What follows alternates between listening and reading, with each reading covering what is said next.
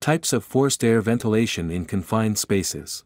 Confined spaces usually have limited entry and exit points which make it difficult for fresh air to naturally push out and replace the contaminated atmosphere. While atmospheric changeover might eventually occur, it would take a long time. Therefore, to speed up the process of replacing contaminated air with fresh air, forced air ventilation or mechanical ventilation is often used in confined spaces. There are two types of forced air ventilation.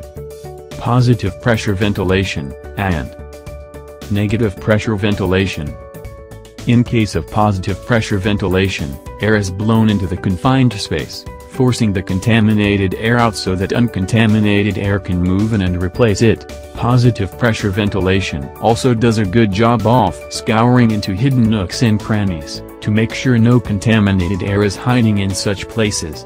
Negative pressure ventilation is the opposite of positive pressure ventilation. In this case, air is pulled out of the confined space with the aid of a fan, creating negative pressure.